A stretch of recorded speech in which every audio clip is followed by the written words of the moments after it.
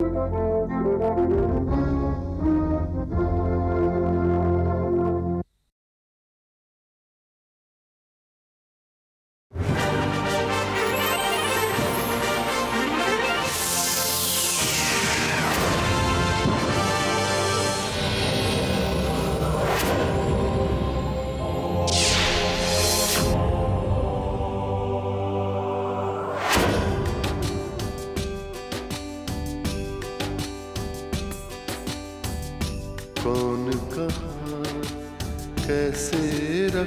रखता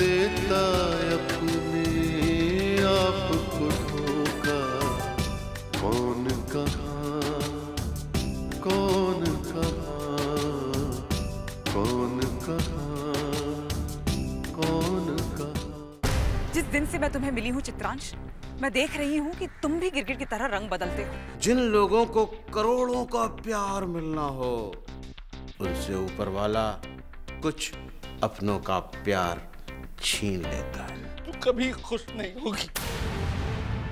मैं नहीं चाहता हूँ कि आह मेरे दिल से निकले पर क्या करूँ? रोक नहीं पाता निकलती है। इनसे मिलिए। ये हैं हमारी नई फ़िल्म की हीरोइन उर्वशी। तुम इन्हें फ़िल्म मुहूर्त से लेके फ़िल्म रिलीज़ तक का सारा सिस्टम अच्छी तरह समझा। आपके साहबजादी सुना बहुत बड़ी हीरोइन बन के आ रही है। एक ऑटोग्राफ दिला दीजिए कि साहब। कहिए आपका यहाँ आने का कारण क्या है? गुरुजी ये है उर्वशी।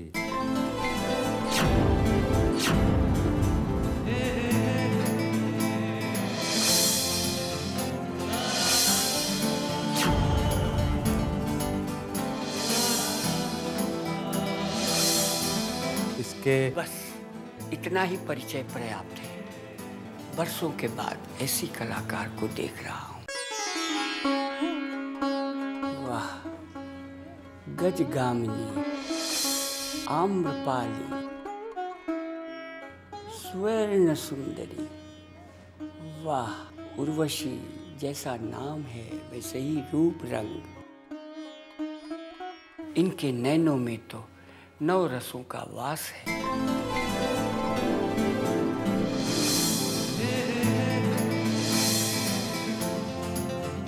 इनके मुख पर हृदय की सोच शब्द बनकर पढ़ी जा सकती है।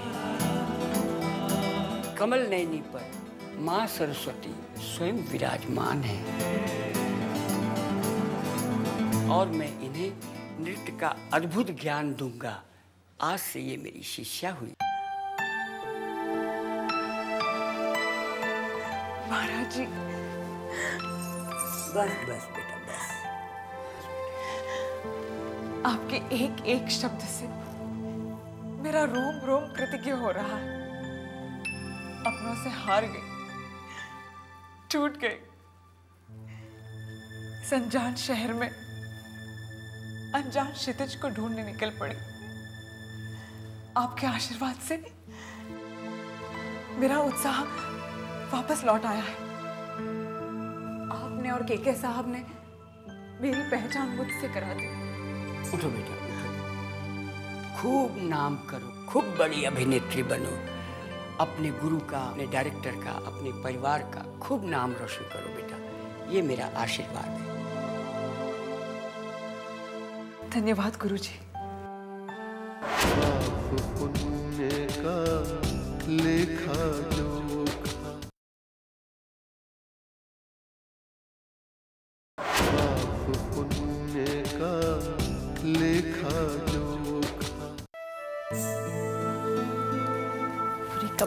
फैला कर गई है ये ना तो काम करने से हम्म।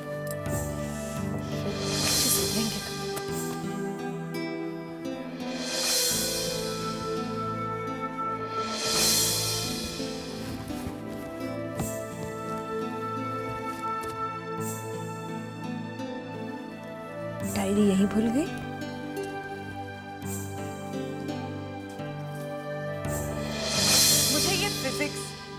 केमिस्ट्री बायोलॉजी जैसे सब्जेक्ट्स बिल्कुल पसंद नहीं। पर पापा चाहते हैं कि मैं इन्हें पढूं और एक बहुत बड़ी डॉक्टर बनूं। इसलिए नवी कक्षा में मैंने ये सब्जेक्ट्स ले लिए। बड़ा मुश्किल होता है दिल को मारकर पढ़ना। पर पापा का सपना पूरा करना है। हे ईश्वर, मुझे माफ़ कर देना। कॉलेज में आते ही मैंने मम्मी से पहली बार झूठ बोला कि मेरे एक्स्ट्रा क्लासेस थे।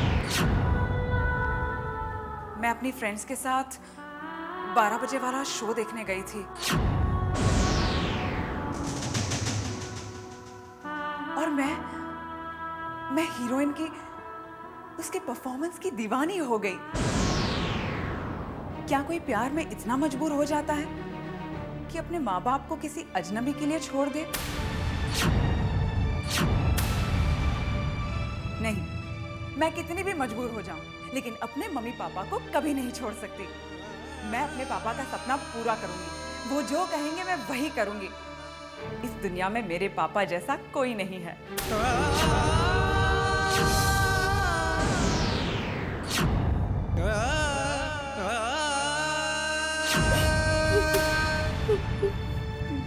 स्कूल की फेयरवेल पार्टी में मैंने एक ड्रामा किया था, सोनी महिवाल। सबने मेरी खूब तारीफ़ की थी। और तब मुझे ऐसा लगा कि इस अभिनय से पहली बार मेरी आत्मा को शांति मिली है। कई जन्मों से रिश्ता है मेरा कला से, लेकिन मेरे अंदर ये अभिनय की हलचल हो रही है। क्या मैं हमेशा एक्टिंग कर सकती हूँ? नहीं। शायद नहीं, क्योंकि मेरे पापा को यह सब पसंद नहीं।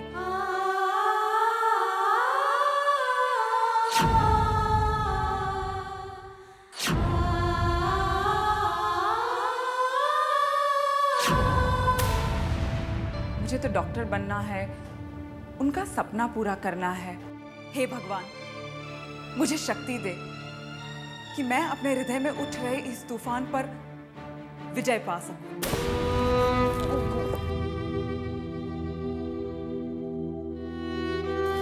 ये क्या किया तूने? ये क्या किया? अपने पापा की खुशियों के लिए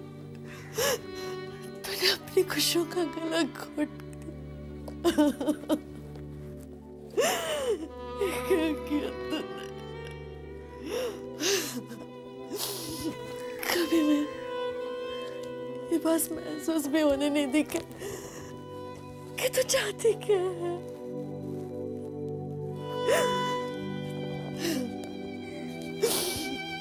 पर वो जो ऊपर वाला है ना वो सब देख रहा है। सब देख रहा उसने उसने अचानक ढेर सारी खुशियाँ तेरी झोली में डाल दी।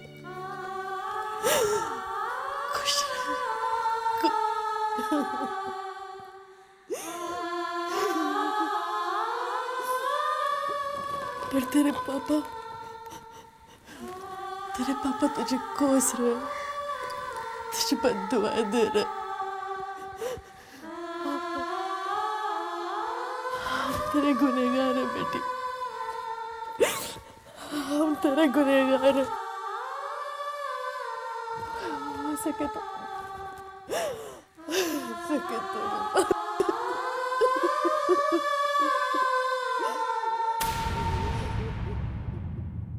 पाप पुण्य का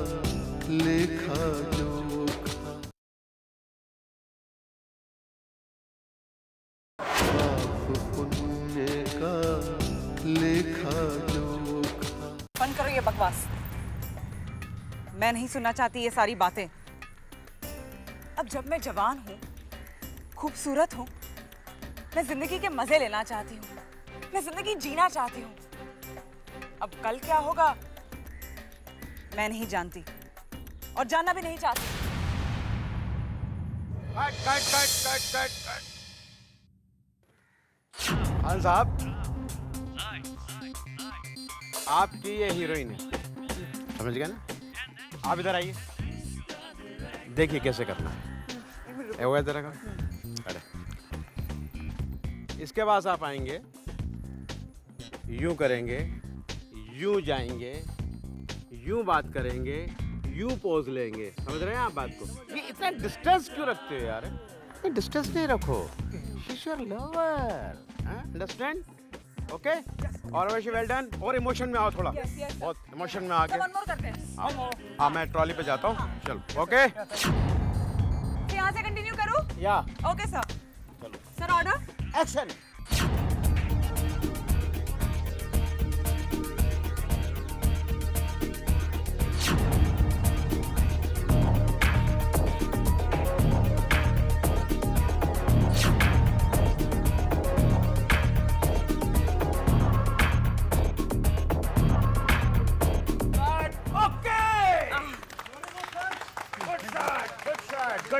Good shot, good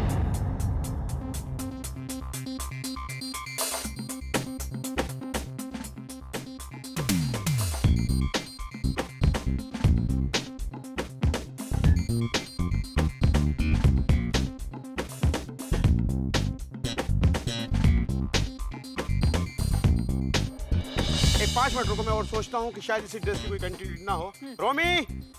यहाँ हूँ सर। हाँ हाँ इधर इधर। इनकी कंटिन्यूटी देखो हैं? और मिलो मुझसे। ओके जाइए आप। ठीक है ओके मैं आती हूँ चेंज करके। Lot of thanks lot of thanks आप लोगों ने बहुत अच्छा काम किया। ओके ये क्या मैं आपका छोटा सा इंटरव्यू ले सकती हूँ? अब सर जब तक मुझे वापस बुलाए नहीं तब तक आप इंटरव्यू ले सकती हैं। आफ्टर ऑल ये टाइम उनका है। ठीक है. Thank you, ma'am. स्पॉट दादा दो चेयर्स लाना। हाँ ये आगे। स्पॉट दादा? इनके लिए दो चाय लाना। हम्म,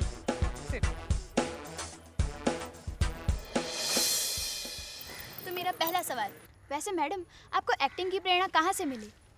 आ,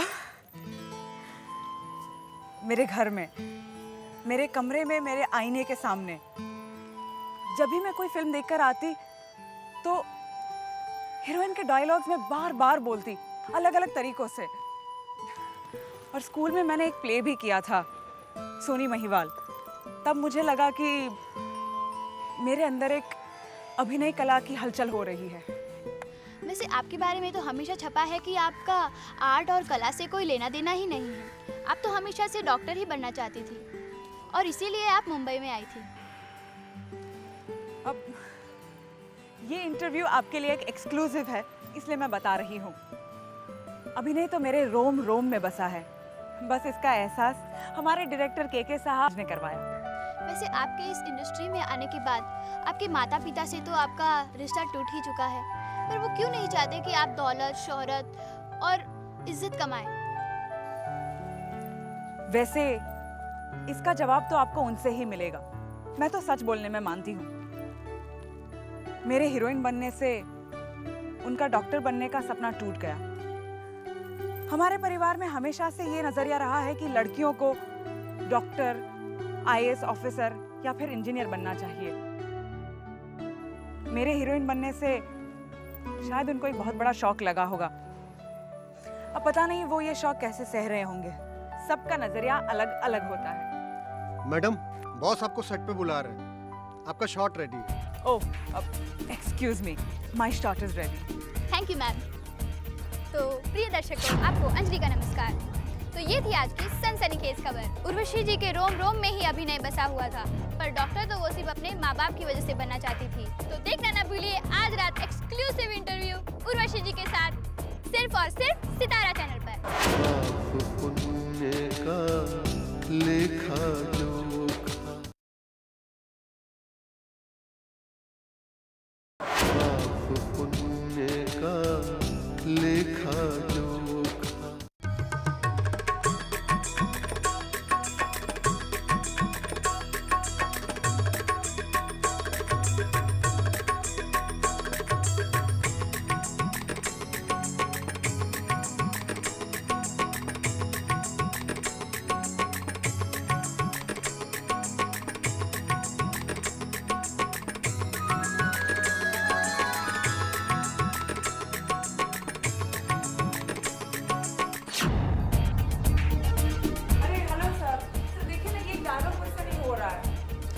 क्या डायलॉग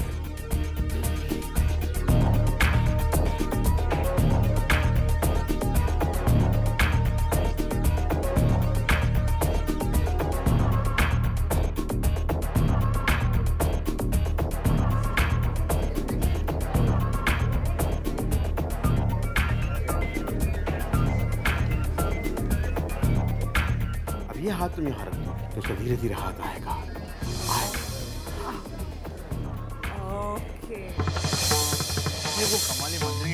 की रहती ना हीरोइन ना? हाँ, वो आजकल फ़िल्मों में आ रही है। उसका बाप आ रहा है।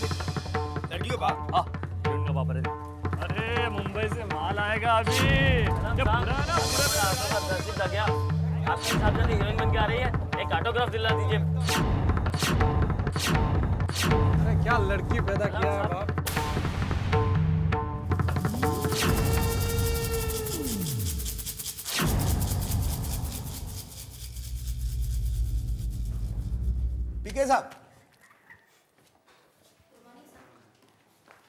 भाई, कब तक आ रही है आपकी बेटी की फ़िल्म?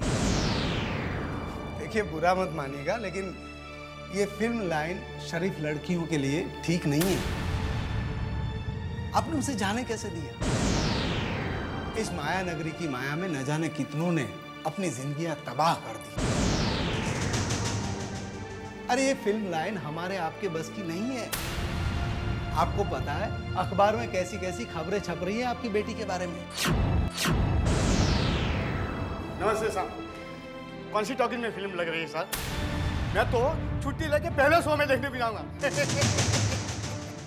बड़ा मज़ा आएगा सर। हाँ हाँ हाँ। बड़ा हंगामा है सर, फ़िल्म आने से पहले ही।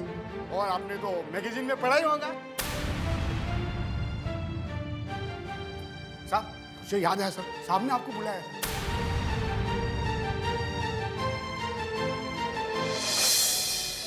मैं इन सर हाँ आ जाओ मिस्टर पीके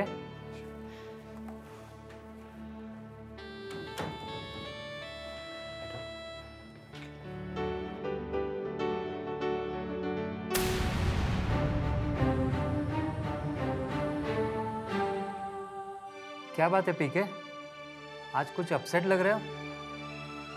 सर एक रिक्वेस्ट है। हाँ हाँ बोलिए। आई वांट ट्रांसफ़र सर मैं शहर में नहीं रहना चाहता। पर क्यों?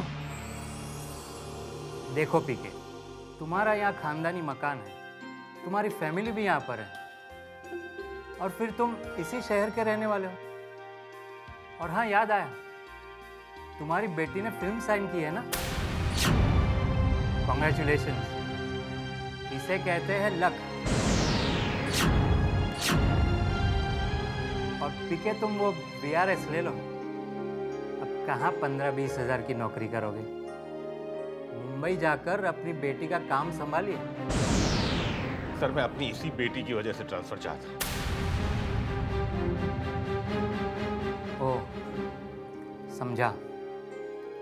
लेकिन अब कुछ वक्त तक ट्रांसफ़र पर बैन है। फिर भी मैं कोशिश करूँगा। I will try my best और हाँ वो 30 वार्ड ब्लॉक सी की 304 नंबर के केस की फ़ाइल पुटअप करो। ऊपर से बहुत प्रेशर है। जी। चलता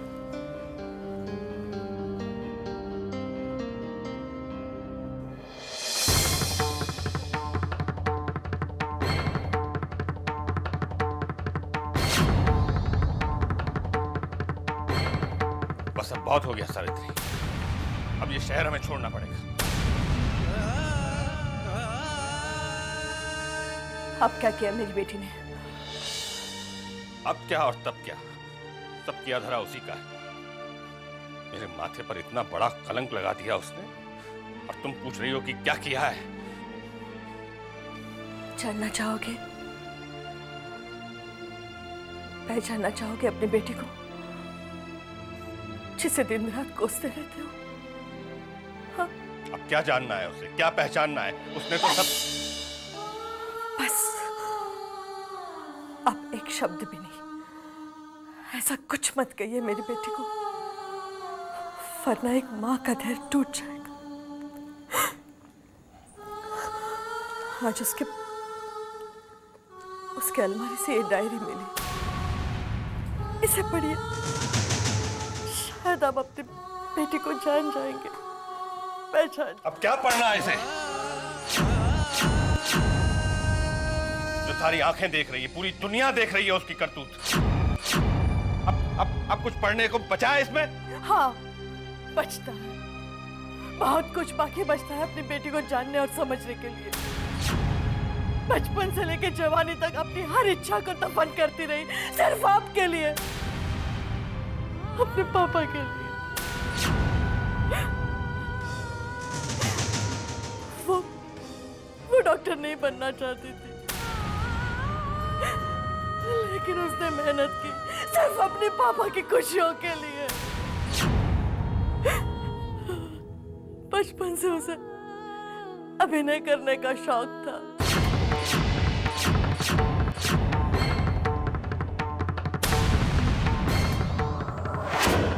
हर इंसान का वहाँ पर, हर इंसान कच्चा चिट्ठा, हर इंसान का कच्चा चिट्ठा।